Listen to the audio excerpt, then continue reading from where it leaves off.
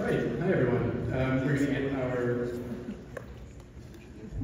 election proceedings kicked off for the evening. Um, we're starting with our candidates for president. Um, candidates will be asked a series of questions and will have one minute to respond to each question. So please welcome to the stage current President Cole Brock and candidates Ryan Hamill and Jordan Luther.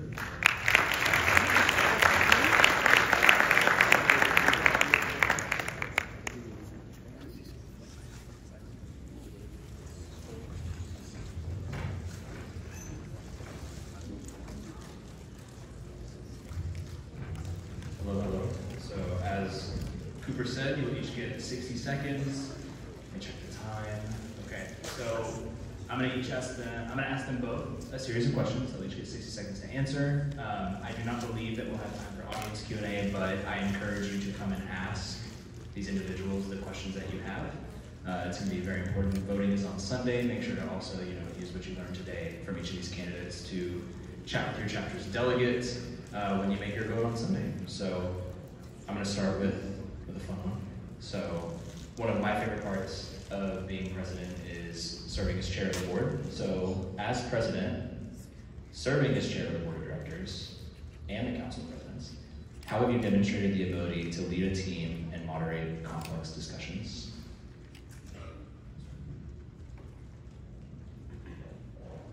So, um, I've not been a chair of board, but I have been um, a co-editor of our student journal. Uh, I was the vice president of our AIAS chapter, and what I've learned is that, you know, kind of as vice president or president or leader of an organization, it's kind of better to uh, hear from the members first before giving kind of your input. As kind of the leader of the board, um, people sometimes try to follow you, but I think it's better to hear from the, uh, the board first before giving kind of your input um, or your ideas uh, on a subject.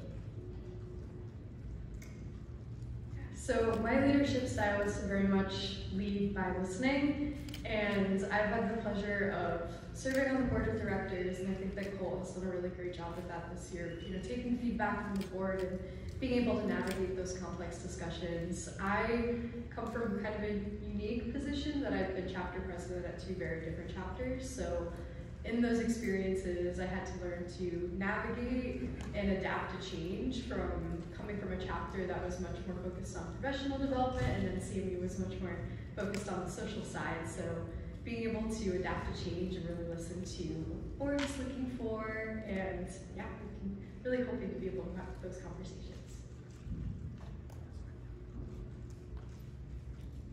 Thank you both for that. Um. Um, so something that the AI struggles with is continuity. So as a student organization, our average member time is less than three years, um, meaning that you know institutional knowledge turnover is a very real thing. You know, we highlighted at the beginning of the session yesterday that for many of you, this is your first in-person forum, and for some of you, your first in-person conference in general. So being in community and understanding these things. Uh, changes very regularly, so this leads to some challenges. How do you plan to address the issue of continuity in the next year?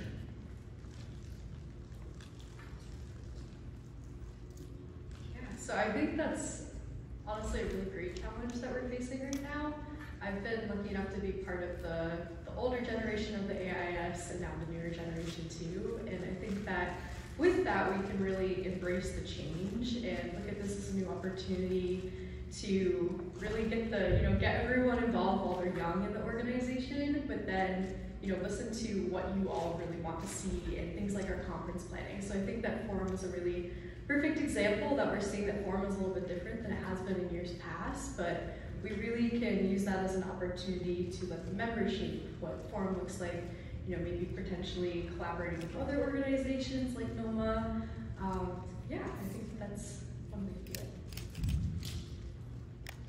it. Um, you know, from my you know experience with you know continuity and turnover, um, uh, our our board at our chapter at Future Mercy turns over almost every year completely, and so we've learned it's really important to kind of um, you know develop initiatives and documents that you know teens can read and learn from every year and kind of um, help new boards see the history of the organization, um, not only as a local chapter, but the national chapter as well um, to uh, help the new boards as much as possible.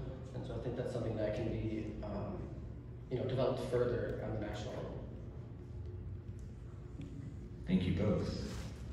In order to enact change, you have to understand how change is made. What specific aspects of the president role would you leverage to advocate for not just architecture students, but design students, and not just in the US, but around the world?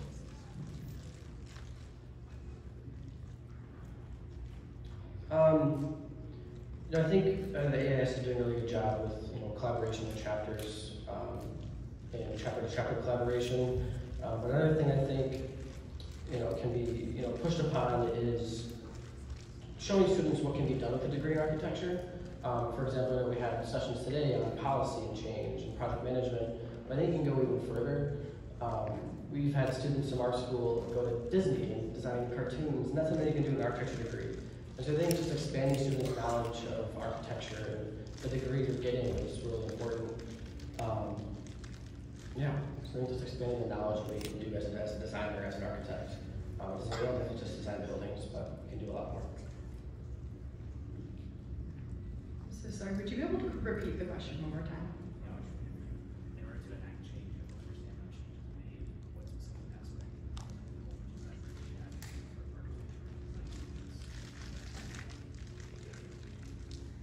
So I think that it's really exciting how much our organization is growing. I personally have been really fortunate to learn a lot from our international chapters this year, and it's been super encouraging to see, you know, how active, how large our chapters in the Middle East are, and seeing what they're up to. I think that one of the things that we can do to start to involve those chapters more is, you know, continue pushing the the conference planning for our conferences in the Middle East and having an international conference. And I think that our organization too is at a pivotal point where we're becoming even more inclusive.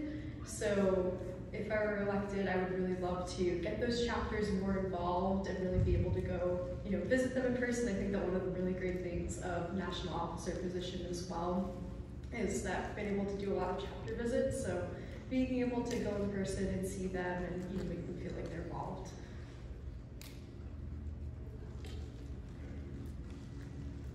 Here's a fun one. If asked by a fellow student, why should I join the AIAS? How would you respond?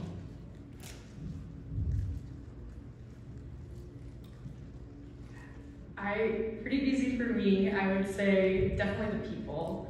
I when I joined as a freshman, I really didn't know how amazing the community would be, and very lucky to say that many of my very best friends are in the AIAS, and being in a space like this and just you know coming to conferences. I think Cooper hit the nail on the head the other day that you get here. People are just embracing each other with warm arms, and you know it's just so great to be in a community that people are constantly inspiring each other, and you know you're meeting everyone that's the future of the profession, and seeing the things that you're all so passionate about with you know learning and teaching culture and advocacy you know, it makes me feel really positive that we are pushing the profession and we are going to change it and we're going to make it even better than it is now. I have a very you know, similar answer. I think it's it is the people at AIAS. Um, and when I started college, I didn't start at AIAS. I was uh, I ran track and cross country, and when that didn't work out, I had to find something. And so we decided to rebuild our AIAS chapter, and those relationships I developed with rebuilding it from the board, and then also coming to conferences, you know, from Milwaukee to DC to now. Um, the people who I've met and the people who I see at all those conferences really make AIAS special. Thank you both. Um, this is a question that was actually asked to, I believe, Julia and I last year during our speech practices by a former officer. Um, a big part of the officer role is representing students in spaces with our alliance partners and with other members of the professional architectural community, whether that be in practice or education. Um, often, you know, you're going to find yourself advocating for students, and the question that was posed to us is, what is, if someone from the profession comes to you and asks, what is the future of architecture, what would that be for you? Um, I think the future of architecture really is really just uh, learning to accept change. Um, I think, you know, especially in the last few years or so, even from when I've started school to now, think the profession of architecture is starting to change.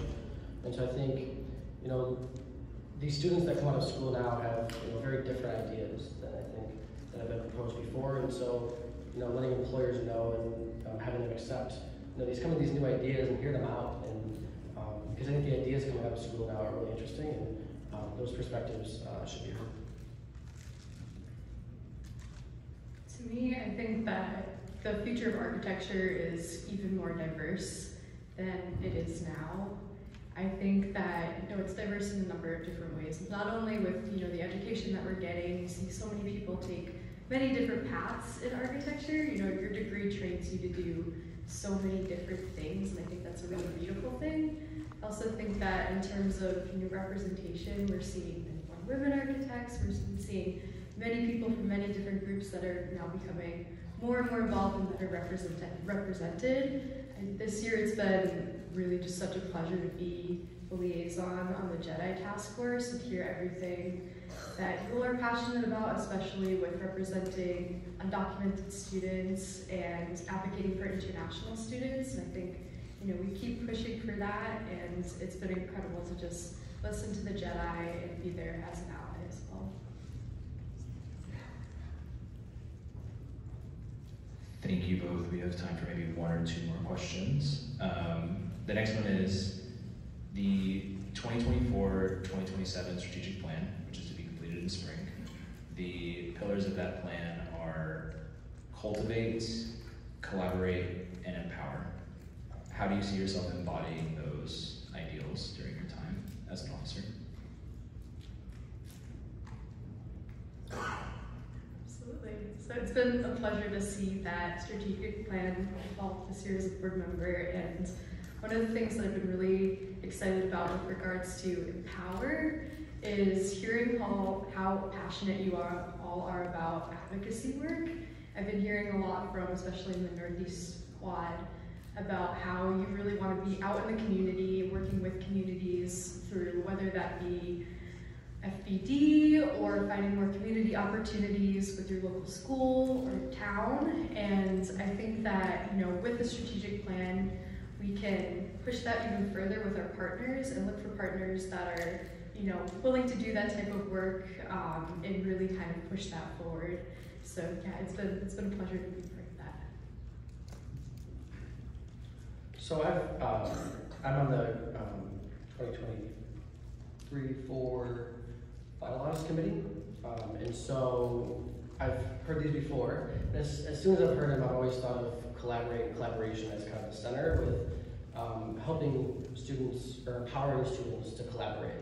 Um, and I believe, you know, empowering students to collaborate will then cultivate, um, you know, shared ideas and shared events and, um, or collaborative events between chapters. Because I think collaboration is, you know, AIAS's you know, greatest asset um, collaborating with students around the country to share ideas and um, share how they've been taught in different projects. Um, and so I think empowering students to collaborate you know, will um, cultivate those shared ideas. All right, and I'll close this out with a simple one. What is one thing that you wish you knew going into architecture school that you know now? Um, architecture is not, you know, there's a lot more to architecture than just drawing on a piece of paper and a building shows up. Um, I know when you go to school, not everybody becomes a, you know, uh, concept designer. You can become a technical designer. You can do specs. You can be do project management. And so I think, you know, exposing that to, you know, younger students and high school students that architecture really isn't just about one thing. There's so many avenues of this degree um, that really need to be more exposed. So when I first decided to pursue architecture, it was in eighth grade, it was because I really loved drawing and math. And as I've gotten further and further throughout my career, I've realized that now the biggest thing for me is the community and the impact that you can have on a community and that architecture can really be about the people and the positive impact that you can have on those that you're designing for. and you know you get to really tell a story with architecture. That's something I never would have imagined as a little kid thinking that I wanted to be in architecture. I didn't realize how many different facets that it can have and just you know the positive impact it can have on people's lives. Thank you both. Can we give them both a quick round of applause?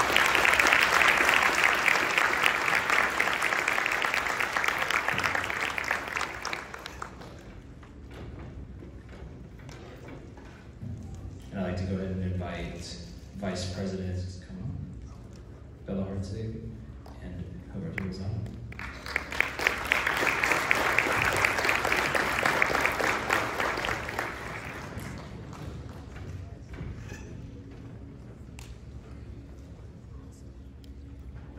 Is this thing on? All right. Can we get one more round of applause for our vice presidential candidate?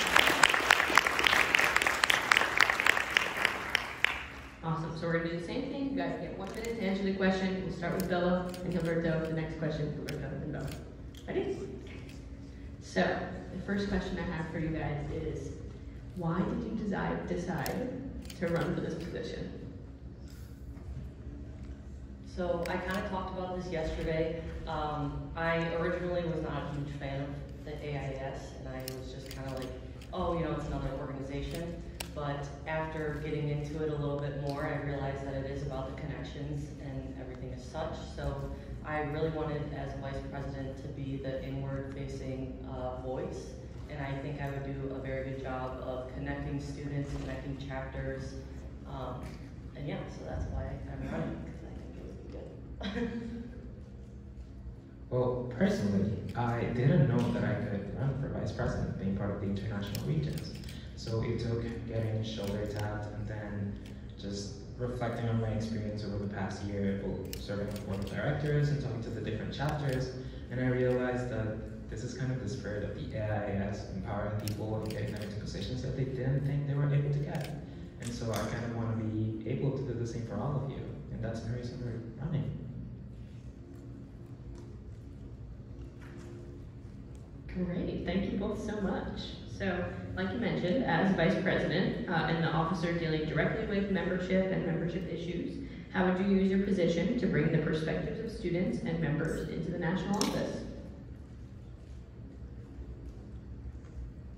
Well, one thing that I would do is that I would establish a little bit uh, or more clear protocols to get student voices into the decisions and actions that we take as a board of directors.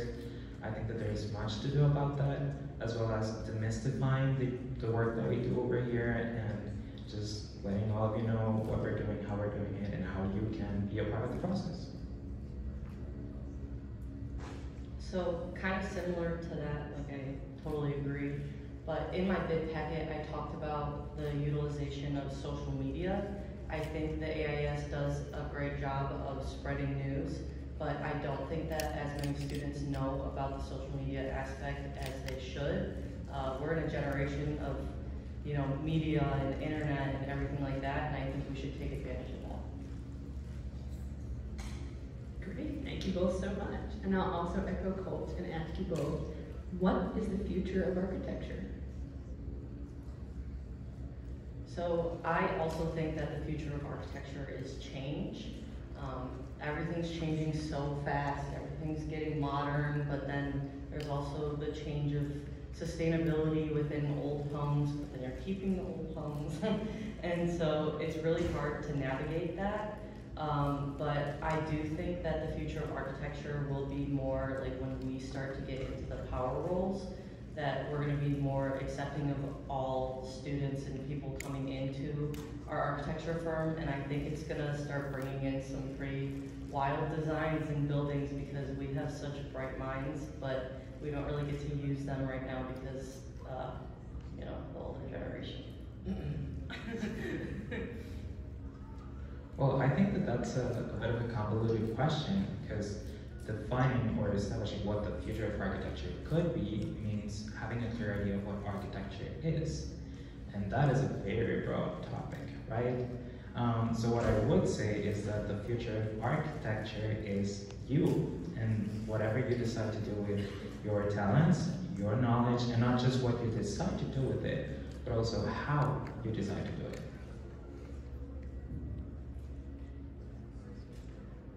Great, thank you both. Um, the next question will be, working with the vice president and president and staff in the national office every day is an experience that you can't be fully prepared for. But what are some of your strengths that make you great to work with on a team? Goes first. I think that one of the um, things that help me work in a team is that, first of all, I've done that a lot.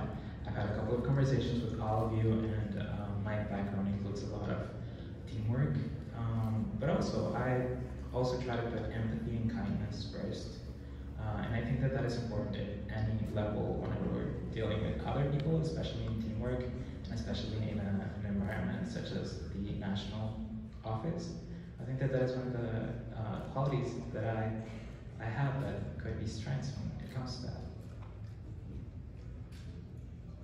So I work a lot in teams in school, as I'm sure many of you do. And I think something that I bring to the table that makes me a good teammate is I'm very good at listening and kind of like giving and taking like my idea versus your idea or finding one that meets both aspects. Um, and I think that's something good that, I'm good at. Amazing, thank you. Um, so in your engagement with Alliance organizations, how do you plan to utilize your voice with the ACSA, uh, in which the vice president is the student director on the board? Uh, so how do you plan to use your voice uh, in discussions with their leadership and with other partners? So first of all, uh, similar to the president, uh, the first thing is listen, listening to the students and utilizing everything that we hear and see that you guys want. And then obviously going to the ACSA conferences and letting them know like, this is not just my idea, it's the student's idea, the organization's idea. I think it's really important for them to hear that there are numbers backing this and it's not just like us four or five looking like, yeah, this is what we want. Well, what I would do is um, advocate for student voices in general, because um, there's usually this thought or this idea that uh, what we were talking about earlier in the presidential Q&A, um, that change is something that could be a hindrance to our activities, but I think that it's actually an asset. The fact that we have so many new people coming in every year, everyone with different ideas, everyone with different experiences, I think that that's something very important. And just listening to them and acknowledging it as an asset communicating that to other organizations, I think that that is the most valuable thing we can do as a student organization.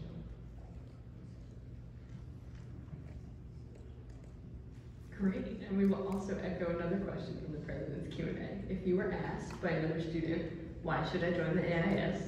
What do you say?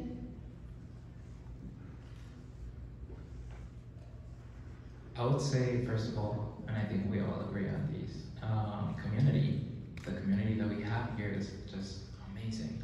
Not just because you find other people that you can rely on or people that can help you get out of your comfort zone, but also because it is a way to create a, a space where you can just experience what you want to become in the future, what kind of professional you want to be. And I think that that is one of the biggest assets that the AIAS has, and one of the reasons that people should join. Uh, yeah, the community, the people, um, as well as the organization as a whole, providing the opportunities like the career fairs and the scholarships and everything like that. That was something that I didn't notice the AIAS had until I got a little bit further into it. And I think that's probably the major thing that I would tell someone if they were to ask why to join. It would be all the opportunities that the organization gives. Great, thank you both. So my next question for you is, what is one of the challenges facing architecture and design students that you are looking forward to addressing? Um, so I talked about this in my bid packet and I talked about it with the Alvin Architecture. So I personally am bisexual and it's kind of hard to tell, you know, like what sexuality, what people prefer to be called, like pronouns and everything like that. But I have encountered a lot of issues where I go in for an interview and you know, there I'm wearing like uh, like a vest and you know, Doc Martens, and it's a little bit like breathtaking to me that people will look me up and down and be like, I'm not sure about this, you know, like you can feel it. And um, I just think that's something that I want to advocate for is just normalizing everyone and advocating for everyone to be equal and uh, yeah. I think that one of the issues that we're facing is that we are bombarded with information every day, all day, at all hours. Uh, and not just that, but that the profession is nowadays being exposed to such amount of change and diversity that sometimes we don't know how to handle it. And personally, I don't even know if I am able to handle it, but I think that providing this way of listening, having empathy, taking into consideration different perspectives is definitely a way to go and a route that should be explored. You know, what should we do about this issue that we're facing, both in information, uh, people, users, all of that. All right, and I think we have time for just one more question. What improvements, or I'll call them opportunities, uh, will be most important to you in your term should you be elected the next vice president of the AIAS?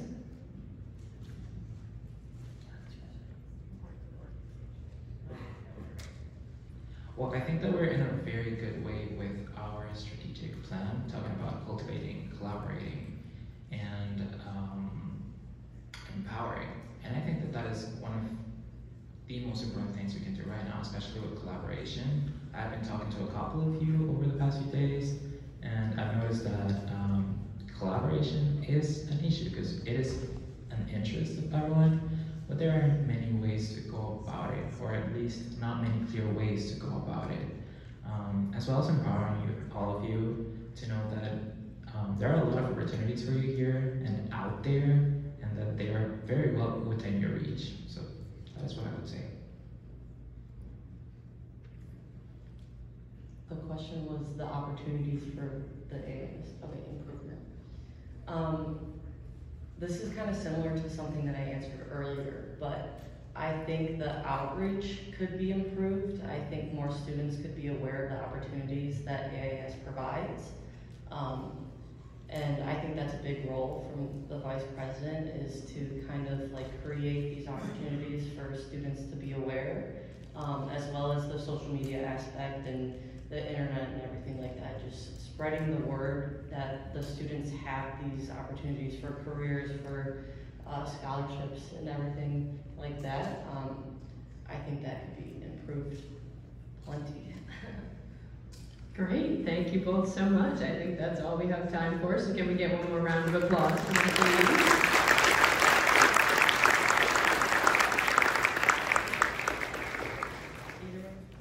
Thank you both so much. Renee as well. So I would like to welcome to the stage, thank you, Juanita Oliveros Faranda and Lee Anderson.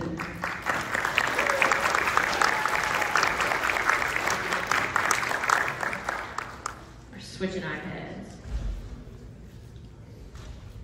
All right, good. Okay. All righty, so our first question is gonna be, why did you choose to become involved in the AIAS? And what has influenced you to run in this election?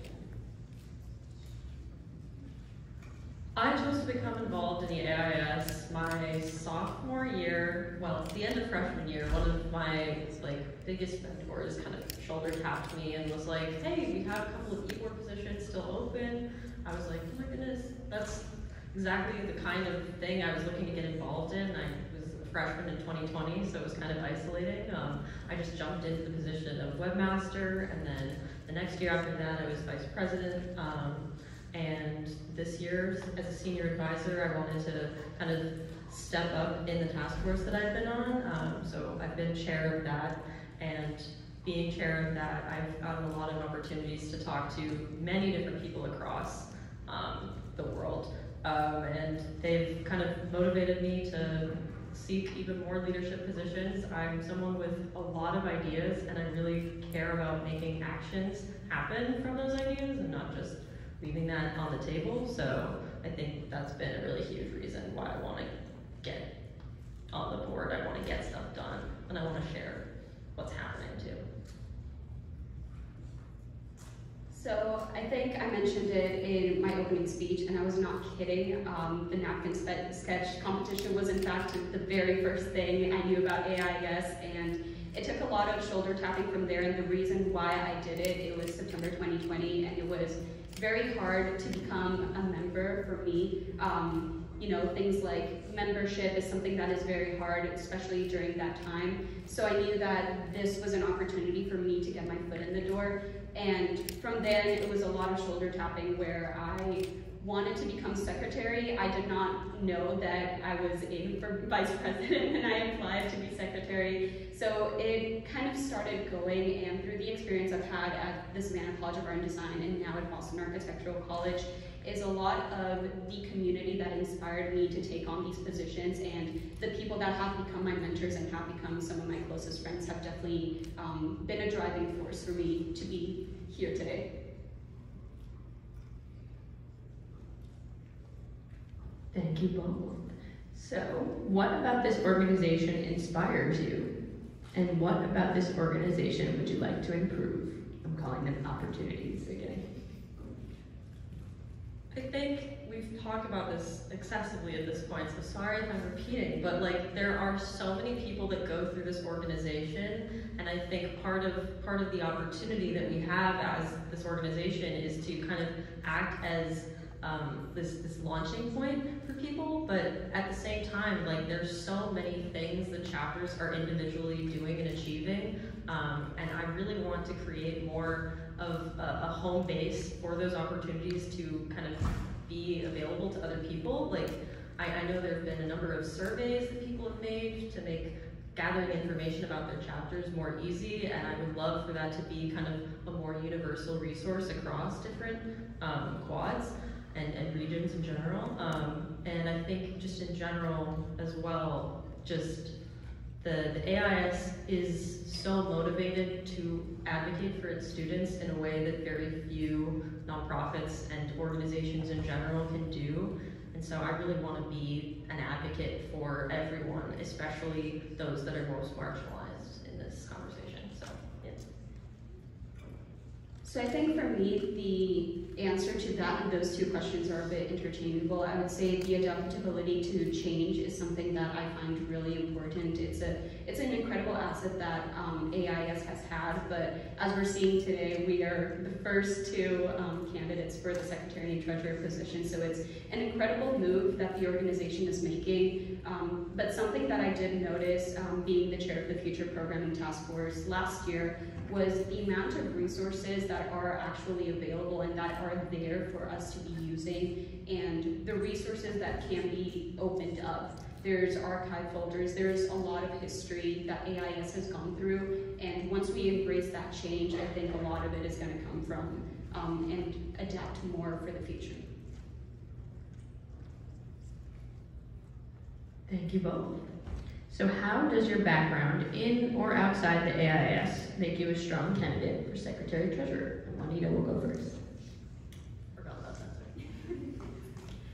Um, so for those of you that don't know, I'm originally from Colombia, but I left when I was very young, and I was raised partially in Korea and then in Qatar. So if anyone wants to come talk to me about that in more detail, I can go on and on. Um, but I've had a lot of experiences with different cultures, with different people, and that's something that to me is really important, talking to a lot of you, seeing what your experiences are and how we can voice those different experiences, because we all have different ideas. And as an international and as an international student myself, I know and I feel for all of the issues that a lot of you have faced. So things like that is something that a part of my background that I would really love to add to this position is the diversity and the difference of different cultures that make me who I am. Yeah.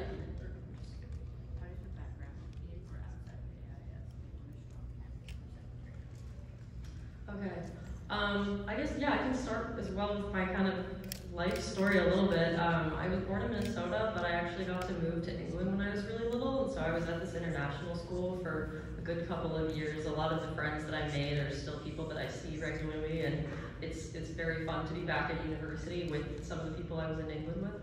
Um, but I think having um, having that background, also seeing international students, because Northeastern is very international campus. Um, my, my closest friend and roommate is from Canada, so dealing with like even the down to the rent stuff um, has been you know very informative in terms of how I would deal with this role. But I think um, being the, the Student Health and Wellbeing Task Force Chair this year has really helped kind of inspire me to run for this role because I've had so many ideas where just late night I've been texting people like trying to make change and figuring out, you know, what, what can I do to make this happen and what can I do to make um, the, the documents that I've been making over the past few years and the past different task forces that we've been on, like how can I help people actually access this? And so this is a really good opportunity to do that. Great. So, what values and passions of our members do you plan to bring to the board of directors?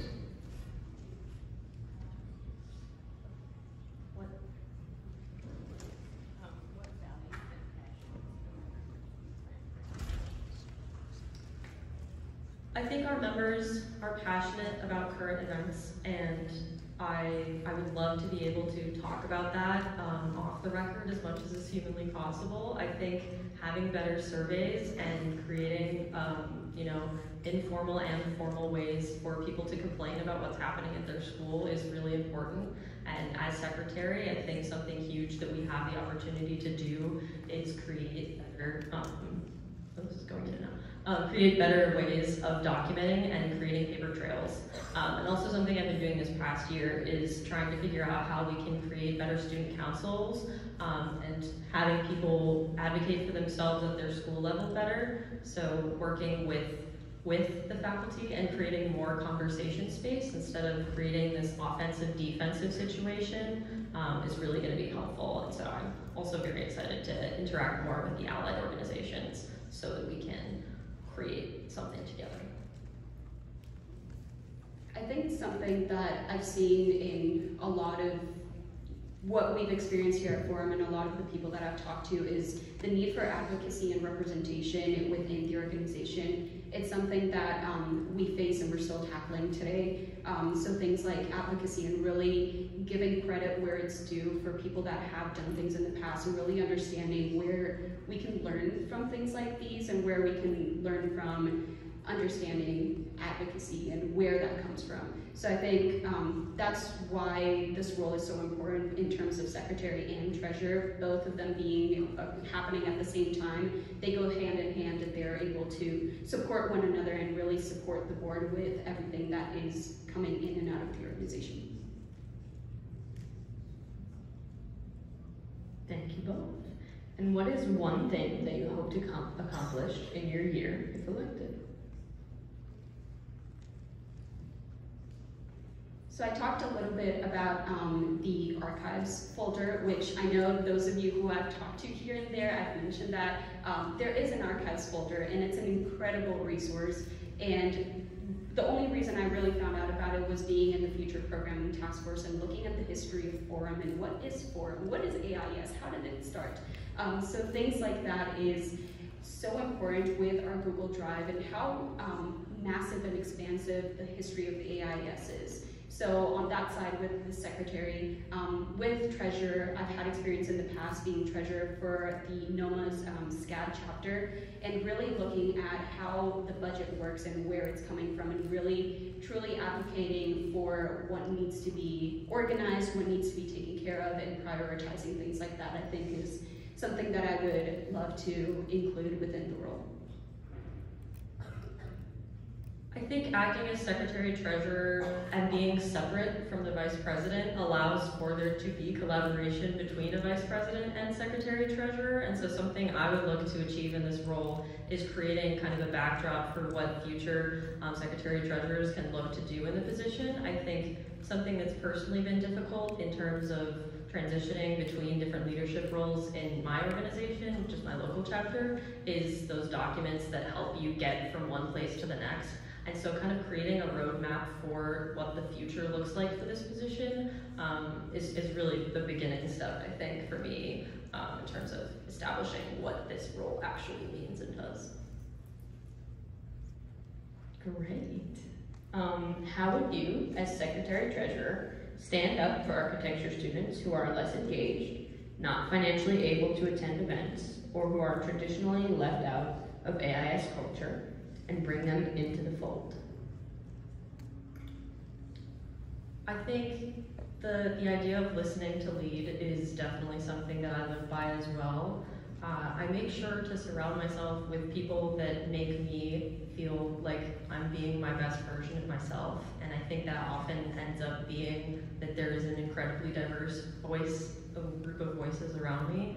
So I think part of this is trying to remain as connected with everyone as I humanly can. Um, I, I love making friends and just talking to people. So it's it's those offhanded texts that you didn't really expect to talk with a person and um, just making those little connections is, is really key.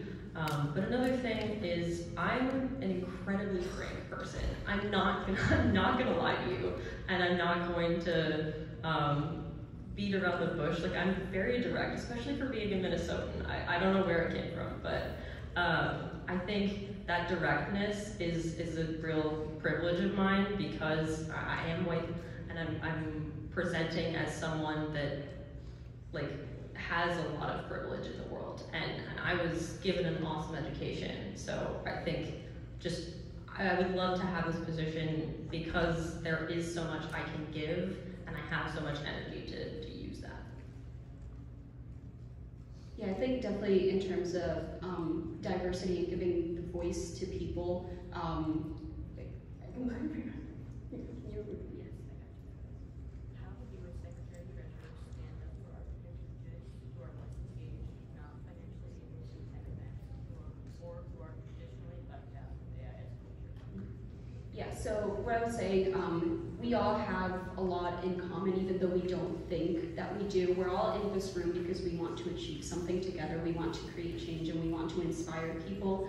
So definitely looking at um, where people are coming from and connecting in a more personal way, something that is very important. Um, that's something that I've enjoyed from living abroad is there are everyone has a story everyone has a beginning and even though you may not relate to it at first things like language things like culture things like that are what unite a lot of people and i think that if we can find just some way shape or form of including that and really utilizing what makes people people into the organization i think it's going to be a lot more personal and a lot more effective that way Thank you both. I think we have time for one or two more questions, so I'll ask you the classic. If asked by a fellow student, why should I join the AIAS? How do you respond?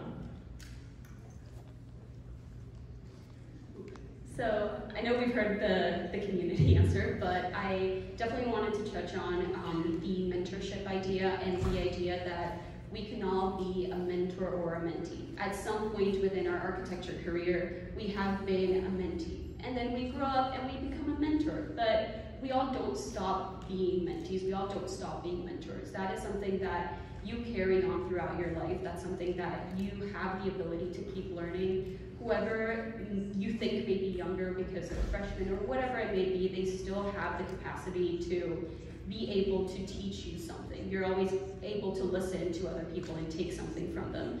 So I think that's something that I've appreciated a lot within AIAS is the opportunity to learn from those that may be younger, may be older, whatever it may be, we all have the opportunity to learn and vice versa and share all of our stories and passions. Yeah, so I, I totally agree with mentorship. But it's been a cornerstone of, of how I've gotten to where I've gotten in this organization. But I think for me, um, the biggest thing that is, is a great reason to join and stay here is that you are your best representative. No one knows you like you do, and if you care about something, your voice is going to is going to mean so much more than, than me saying, oh, so and so wants us to do this. you know what you want to do. And, and if you come to AIAS with those ideas, like I've been able to, you're going to be able to get to do more things. So it, it is what it, it is what you make of it, but that, that's a very positive thing in that you get to be the change that you want to see in. All right, and that is time. Thank you both so much for your answers.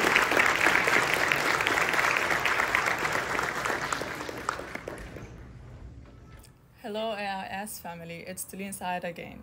So the first question says, why did you choose to become involved in the AIAS and what has influenced you to run in this election? Well, I joined AIAS because of the commitment to fostering students in architecture uh, and the resilience uh, I w- uh, and the spirit I witnessed during the ongoing crisis in Palestine have motivated me to become uh, the Middle East Regional Director to contribute to uh, more success and growth to our region. The second question says, out of many roles of, di- of a director, what do you think is their most important responsibility? Okay, the most crucial responsibility of a director, I think, is fostering collaborations among chapters. By creating a network of support uh, and initiatives, we can elevate uh, the, the AIAS community in the Middle East. Uh, third one, what about this region inspires you, and what about this region would you like to improve? I think the rich cultural diversity in my region, the Middle East, uh, inspires me a lot. There are so different cultures in different places, aka different chapters. So I aim to improve accessibility to the resources and the opportunities. So to make sure every chapter has their own tools so they can thrive in. Okay, so the next one says, how does your background and or outside of the AIAS make you a strong candidate for quad directors? Director. Okay, I think uh, my experience as the president of An-Najah National University chapter in AIAS has coupled my experience in uh, entrepreneurship programs and in uh, virtual exchange and mentoring uh, sessions that I have been involved in in the past years and still in this year, uh, which equips me to address the diverse needs uh, in the chapters of Middle East so we can solve problems together and we can learn new skills together. What values and passions about our region uh, or Quad do you plan to bring to the board of directors? I bring a, pa- a passion of inclusivity and cultural exchange. I aim to remain our uh, our region uh, vibrant and a supportive space for all chapters, regardless of their size or their backgrounds. What is one thing you hope to accomplish in your year if elected?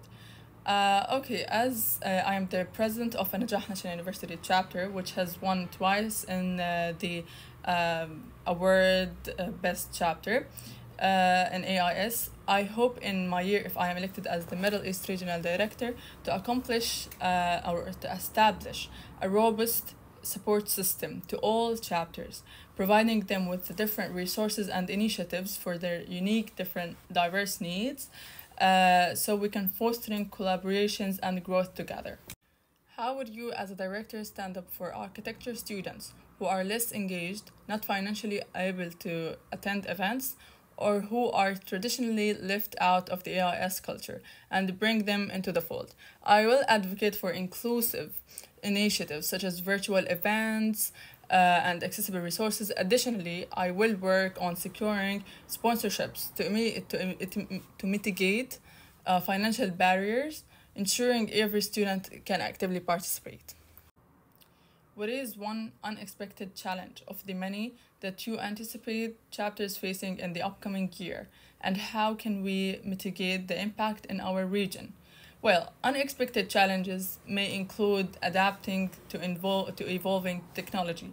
I plan to facilitate workshops and collaborations, efforts to ensure all chapters are equipped together uh, with the necessary necessary skills and resources they want to have to uh, accomplish their success and their change.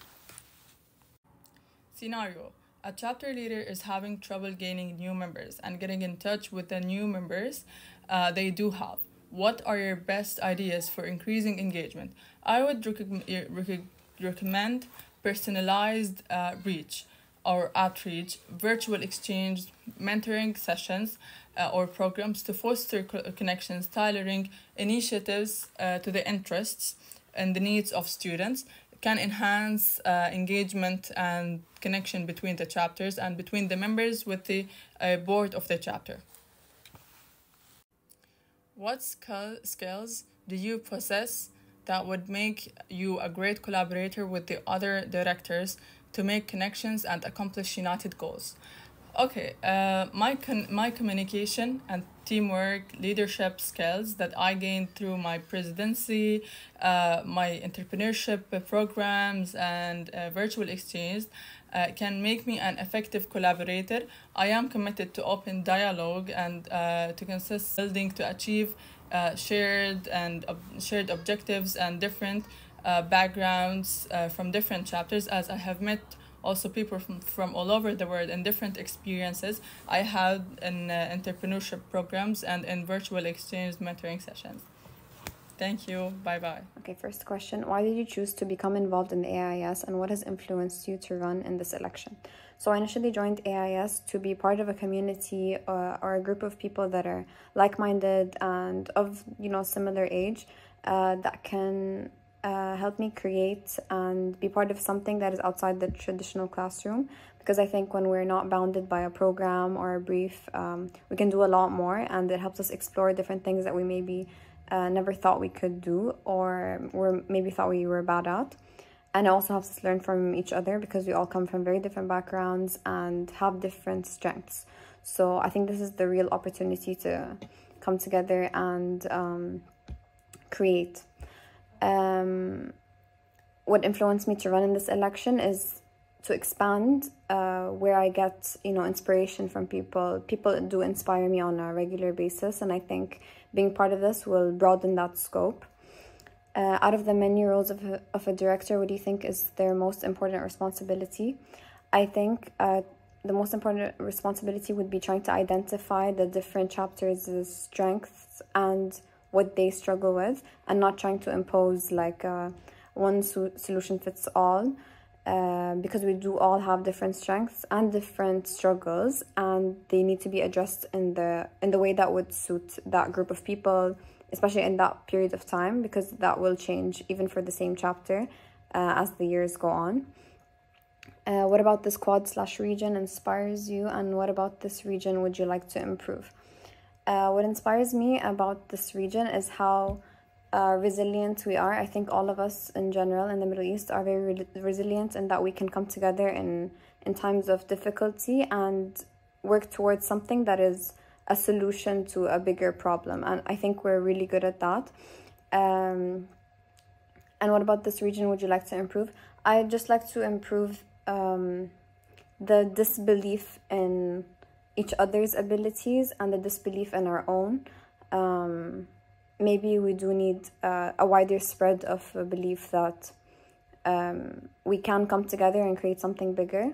I think there's also a little bit of that uh, competitiveness that is very stereotypical in, in architecture schools. Um, and we do see that a lot here, at least in the universities that I've been exposed to. So I would like to improve that um, because competitiveness to a certain extent, extent will not get us anywhere. It's when we come together that we can really succeed. Uh, how does your background in or outside of the AIAS make you a strong candidate for quad director? Um, I really enjoy working with people. Um, I think uh, it is one of my strong suits, and it is where I feel like I flourish the most. Um, I enjoy socializing and talking to people and trying to find ways to integrate um, our backgrounds. I was part of the AIAS as the youngest member when I first um, entered, and I was able to kind of adapt to that situation where most of them were seniors, maybe, or older than me, and I, I knew where, when to like kind of step back a little bit and learn.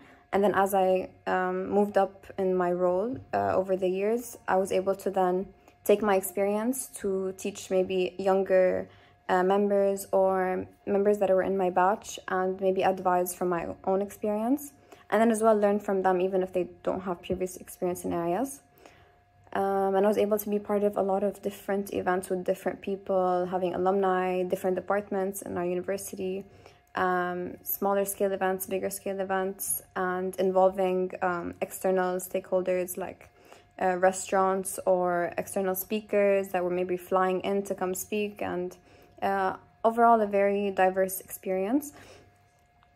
What values and passions about our quad slash region do you plan to bring to the board of directors?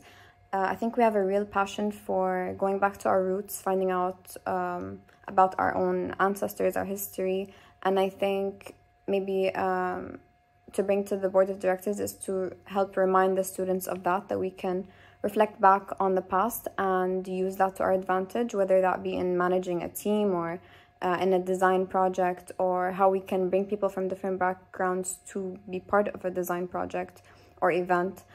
Um, and I think um, a very important value that I have is is to avoid this competitiveness that we see in the studio um, and to bring value to sharing and helping one another without any um, alternative um, vendetta or whatever it may be. Um, what is one thing you hope to accomplish in your in your year if elected?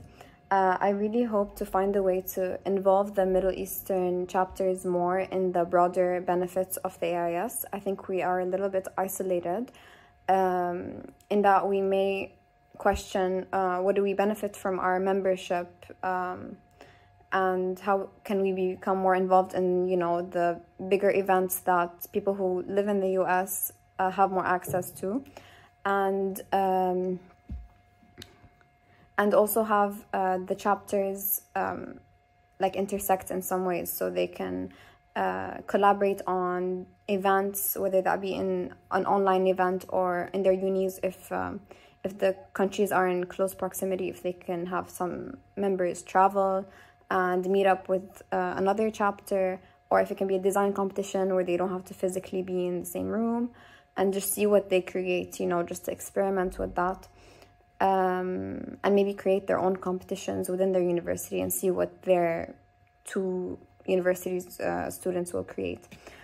Um, how would you, as a director, stand up for architecture students who are less engaged, not financially able to attend events, or who are traditionally left out of the AIAS culture, and bring them into the fold? Less engaged. Um, I think trying to find out what it is that will engage them because we all have different interests although we are studying the same major um, there are different things that will interest us um, individually so maybe trying to have a variety of events and encourage them to take part you know uh, if this is uh, a certain topic that maybe my team is not well um, informed about or aren't as interested in we ask other students to tell us more or they can take charge on that event and we'll follow suit and help uh, plan it on the bureaucratic side with the forms and things. Um, so that's one way it can be done. And if they're not financially able to attend events, trying to have partnerships with companies and our university, um, things like that, finding those little um, tricks that can help us, you know, make it not such a financial burden, because I don't think we should be paying for events uh, to attend them at least. And um, maybe trying to find ways to have areas sponsor some things if they're much bigger where students may need to pay for tickets or things like that but yeah i think having more diversity in what we offer will encourage other students who don't feel as involved or don't feel represented as such um, with the AIAS culture, just about that, uh, explaining what it is. Because uh, one thing in my university, um, a lot of students felt like they didn't really understand what we did or what AIAS was about. So a lot of education needs to happen about that and just informing people. Uh, what is one unexpected challenge of the many that you anticipate chapters facing in the upcoming year, and how can we mitigate that impact in our quad uh, region? Um, one challenge that I am currently facing as well with my chapter is um, members asking uh, what do I get from a membership? So that's one thing that needs to be addressed because it does discourage people from uh, getting involved in AIAS, AIAS and from joining if the university is not reimbursing um, the cost of the membership. It is quite expensive uh, for students in my university. Um, so students joining on their own financial risk and their time is a bit tricky. So we need to make the benefits seem more, or they should be um, more beneficial and more uh, enticing for the students. So that may be something that other uh, Middle Eastern chapters uh, may face. Uh, scenario a chapter leader is having trouble gaining new members and getting in touch with the members they do have. What are your best ideas for increasing engagement? Okay, for gaining new members, again, explaining what you or maybe showing some visual of what you gain as a as a team and and the things you experience having some fun you know like um, we used to have like reels and small tiktoks just of us having fun planning events at events meeting new people networking things like that so all that is very attractive to students so showing them that as a visual rather than just verbal and um, getting in touch with the members uh, just finding out what do what they use to get in touch. For example, emails for us, for example, doesn't work. We talk on WhatsApp. Um, uh, I think a lot of the Middle Eastern uh, uh countries will use WhatsApp as their main mode of uh, communication. Uh, I think just finding out what what they use because everyone is on their phones, you know, and there may be uh, a certain mode of communication that is easiest for them because we get very busy. Some people are international students they need to keep in touch with family. So it does get very busy and i do understand if, if they can't stay in touch with their AIAS members uh, but yeah we need to find out what works best for the members and trying to uh, accommodate and compromise with everyone uh, what skills do you possess that would make you a great collaborator with the other directors in order to make connections and accomplish united goals. I think I um, am able to compromise and step back when needed to just sit, just listen and learn. And then um, I think I'm very good at analyzing where our goals or um, values may intersect and then to use that to our benefit. Um, because uh, obviously we won't agree on everything and um, we just need to use our differences to make them a strength and come up with something brand new or even stronger than our individual ideals and values uh, alone.